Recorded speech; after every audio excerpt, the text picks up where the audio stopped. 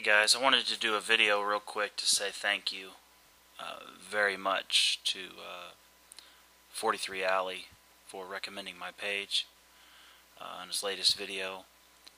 And uh, that means a lot and I'll be doing a video uh, to kind of explain the introduction of who Word of Fakes is, what I do. But I want to say thank you again uh, to 43 Alley and thank you to all my subscribers I don't do this for. I, I hear you can make money on YouTube for making videos. I can't because I take images off of Google, um, which I don't even care about. I, I, I hear it's like five dollars, you know, a year. So it's just.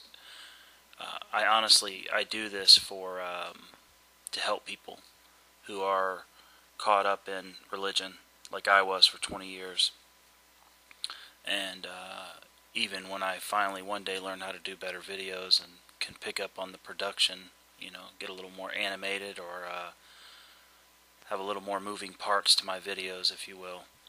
Uh, even if it costs me money, it's going to be a pleasure after spending thousands and thousands of dollars giving them to the church, giving it to the church. It's going to be a pleasure to make videos, um, you know, fighting back against that anyway, I've got to do. Uh, I don't like to leave you without any information, so I wanted to say thank you. But I'm going to go ahead and pull up an old article and share some information with you about uh, rich preachers and their money.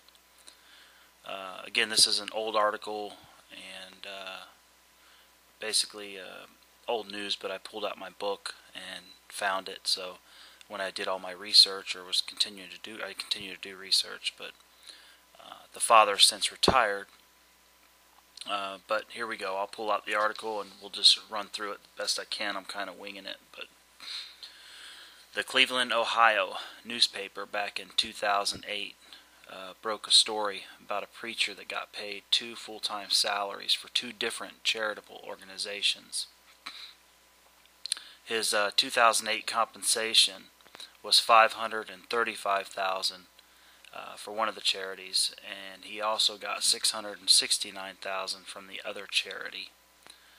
He claims that the 1.2 million dollar annual salary really goes to his retirement, and that for the first few years he never got a retirement pension. So really, what they're doing is playing catch up. Now, after the story broke and everything kind of looked bad, they readjusted his salaries for both charities, and he now makes, you know, it's it's a meager, you know, sacrifice on his part of, uh, you know, he only makes a half a million dollars a year for the two charities. But if you if you add up the uh, 1.2 million dollar salary, annual salary, um, it basically works out to be a hundred thousand dollars a month. $100,000 a month to do charitable work for God and save people from hell and eternity forever. How much of that money could have went to save uh, little dying children, sick children, uh, starving children? I, I don't get it. How, how much of that could have went to give them good clean drinking water, perhaps digging wells for whole entire villages. Anyway, here's the funny part. According to Forbes magazine, uh, his father also is a preacher. And his father uh, is he's recently retired, but before he retired, his pension was four hundred and fifty-one thousand dollars excuse me, $451,707 per year. Now, to be honest with you, I didn't do enough research to see if that was what his retirement pension is, but uh, Forbes magazine did say that that's what his pay was. Um, so I'm assuming that was his pay when he was active duty, if you will. Could be his retirement pension, I don't know. But that averages out to $37,642 per month. How many single moms make that all year? How many teachers or elderly or firefighters or, you know, whatever, cops or how many people aren't making that kind of money each year? How many are struggling aren't making anything and living on the streets with kids. And this guy, the father's making thirty-seven thousand six hundred and forty-two dollars per month, or four hundred fifty-one thousand seven hundred seven dollars per year to do the Lord's work. Now, when I make these videos about greed and the money that these preachers take in, I'm accused of being jealous or mad that they have stuff when all I'm trying to do is prove a point that they waste money on themselves. They tell people that are suffering or scared or hurt or going through a tragedy, send money to me so we can save the sick or save those little kids in Africa.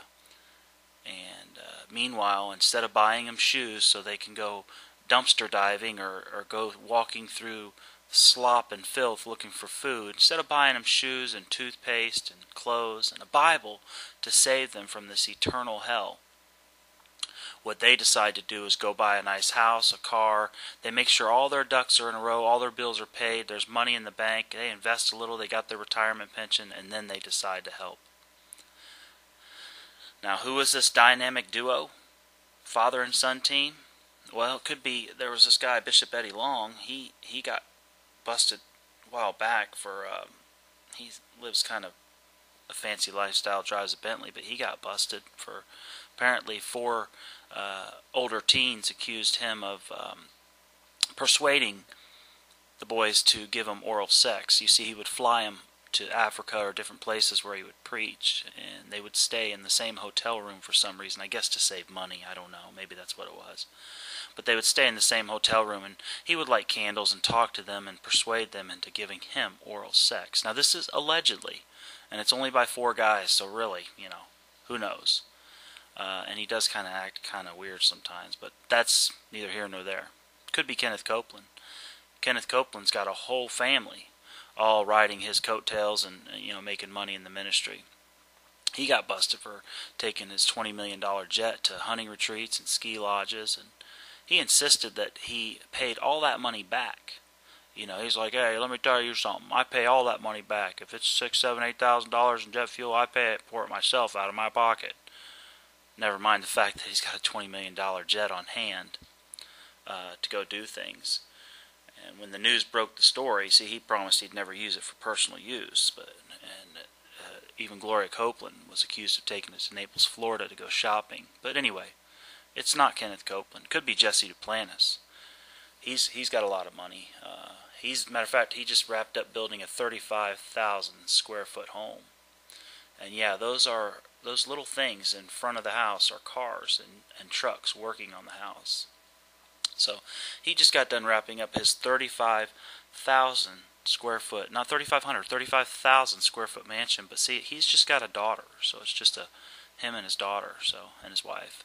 Could be Creflo Dollar. Creflo's got a pretty nice house and lives a pretty good lifestyle. Got a nice family. Maybe it's him and his son, but I know he's got a daughter because he got accused of uh, punching her in the face and uh, grabbing her by the throat, throwing her down on the ground. Now he denies doing that. He says that those marks on the throat were pre-existing and that he never hit her with a closed fist but it's not Creflo Dollar. And the truth is, it's it's not Kenneth Copeland. Um, it's not uh, Jesse Duplantis. It's not uh, Creflo Dollar, and it's not Eddie Long, the ass clown. Um, the truth is that the, the dynamic duo, the father and son team, that are humble, uh, that aren't part of the prosperity gospel, believe it or not, and that are beloved by everybody, everybody in the Christian world pretty much loves them.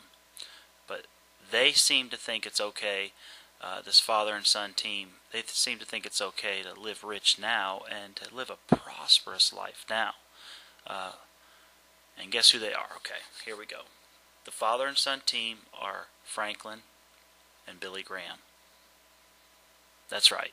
That guy makes one point or was making 1.2 million a year to help God out and help his daddy out, who was making almost a half million a year. Meanwhile, children like this are suffering and dying. All they need is a dollar a day. All they need's uh, some medicine. Uh, you know, moms, everybody. There, there's tragedy happening everywhere, and these guys are going around, uh, living in nice houses, driving nice cars, eating the best of food, why children starve. And they're proud to say, I'm helping Jesus. Send us your money. We're going to help Jesus out.